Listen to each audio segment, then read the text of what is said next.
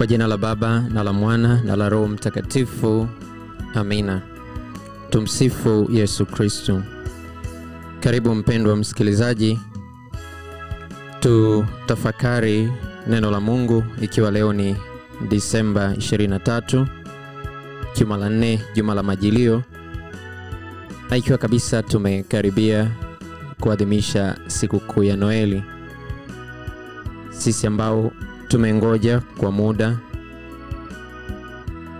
wa majuma manne kufikia siku ya Noeli. Karibu basi tuweze kutafakari masomo yetu ya leo. Somo letu la kwanza linatoka katika kitabu cha Malaki sura ya tatu aya ya kwanza hadi ya nne na ile aya ya tano hadi ya sita. Injili inatoka katika Injili ya Luka sura ya kwanza aya ya 57 hadi ya 66. Nitasoma Injili. Ikawa siku za kuzaa kwake Elizabeti zilipotimia, alizaa mtoto mwanamume. Wakasikia jirani zake na jamaa zake ya kwamba Bwana amemwongezea rehema zake, wakafurahi pamoja naye. Ikawa siku ya nane, wakaja kumtairi mtoto, wakataka kumpa jina la babaye Zakaria. Mamaye akajibu akasema, la sivyo, bali ataitwa Yohane. Wakamwambia, hapana mtu katika jamaa zako aitwaye jina hili. Wakamwashiria babaye, wajua atakavyotaka kumwita. Akataka kibao, akaandika ya kwamba jina lake ni Yohane. Wakastaajabu wote. Papo hapo kinywa chake kikafunguliwa na ulimi wake pia akaanza kunena akimsifu Mungu. Wakaingiwa na hofu wote waliokuwa wakikaa karibu nao. Na mambo haya yote yakatangazwa katika nchi yote ya milima milima ya Uyahudi. Na wote waliosikia wakaweka mioyoni mwao wakisema, mtoto huyu atakuwa wa namna gani? Kwa sababu mkono wa Bwana ulikuwa pamoja naye. Neno la Bwana. Sifa kwako e Kristo.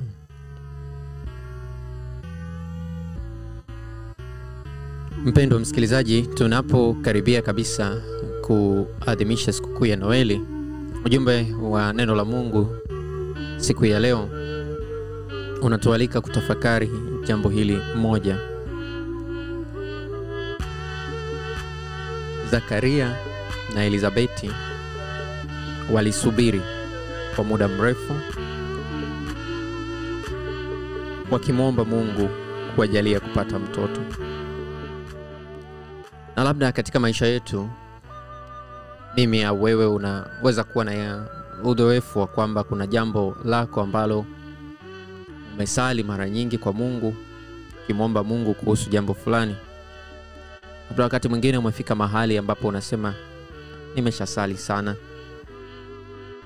naona kama sipati msaada, na unataka kukata tamaa.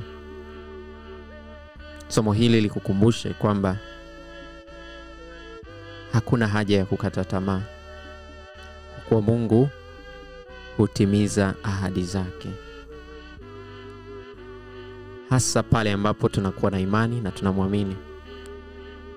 Hivyo wewe, mahali popote ulipo, ambapo umefika mahali kusema nimesali sana, nimesali novena hii ile, sala hii, nimefunga, nimefanya yote, lakini bado naona Mungu anijibu tambue Zakaria na Elizabeti nao walisali, maanake maandiko matakatifu yanatuambia walikuwa ni watu wema.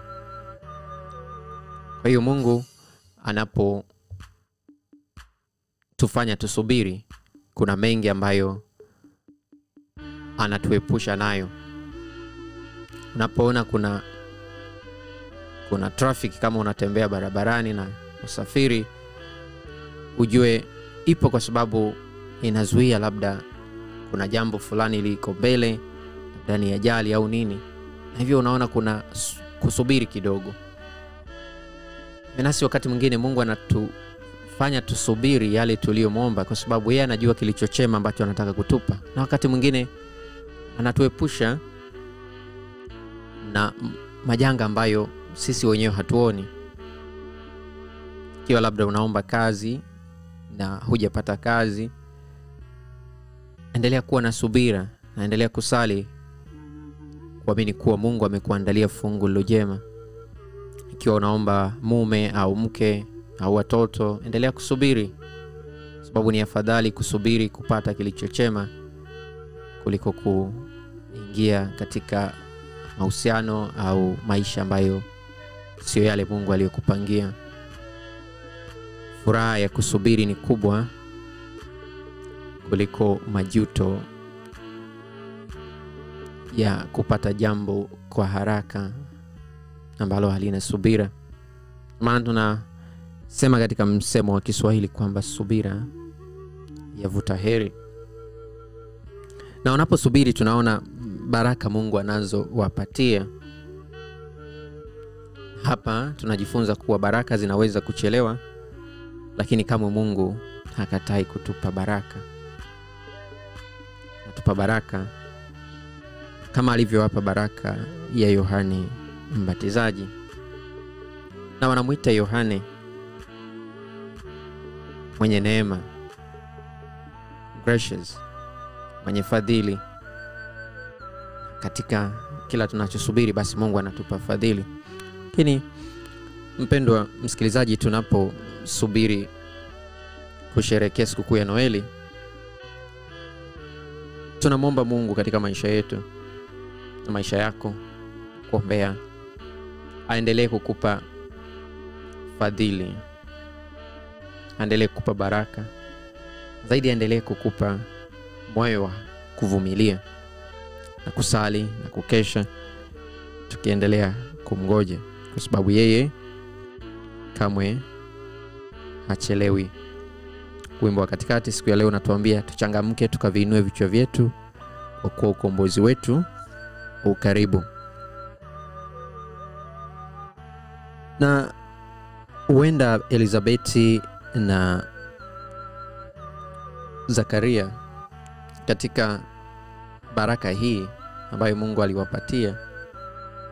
Enda watu walisema mengi kuhusu maisha yao. Na hata labda kuwakatisha tamaa walipoona jitihada zao za kumwabudu mungu. Hata wengine labda kuwaambia kwamba mnapoteza muda wenu mnajifanya wema lakini angalia maisha yenu hakuna baraka hamna mtoto. Lakini ni hulka ya mwanadamu kusema lakini maneno hayo yasituzuie kuendelea kumpenda na kumtumikia mungu wetu. Yasituzuie kuendelea kuweka tumaini kwa mungu ambaye hadanganyi wala adanganyiki akawii wala kuchelewa kutimiza ahadi yake. Lakini zaidi pamoja na kwamba labda walisemwa lakini tunaona kabisa katika maandiko haya bado hata mtoto yohane anapokuja bado wanaendelea kusema mtoto huyu atakuwaje? Huyu mama amepata mtoto katika uzee wake itakuwaje? Lakini tunaambiwa mkono wa bwana ulikuwa juu ya yohane. Na kuombea mkono wa bwana uwe juu yako katika yote unayoyafanya. Kitazama maisha yetu na labda kitazama maisha yangu. Ninakumbuka kipindi fulani miaka mingi tangu udogo wangu. Nilisumbuliwa sana na magonjwa mbalimbali. Kija hili linakuja lingine. Na nini? Nilimwona au niliwaona wazazi wangu wakiangaika na mimi katika kutafuta matibabu hapa na pale. Labda wakati mwingine walifikia kukata tamaa na labda hata kujiuliza mtoto huyu atakuwaje? Siwezi kujilinganisha na yohane lakini natambua kwamba kwa miaka mingi nilipita katika mateso hayo ya ugonjwa lakini mungu mwenye huruma, mwenye neema, aliniponya tangu nimekuwa kuhani wake. Hakika yale magonjwa yamekaa mbali nami.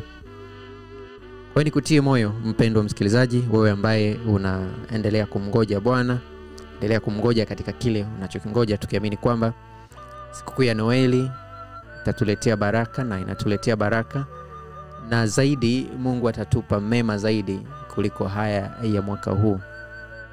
Nikutakie siku njema, nikutakie tumaini njema na nikutakie moyo mkuu katika yote unayoyapeleka kwa Mungu. Tumsifu Yesu Kristo. Bwana awe nanyi, awabariki na kuwalinda Mungu Mwenyezi, Baba, Mwana na Roho Mtakatifu.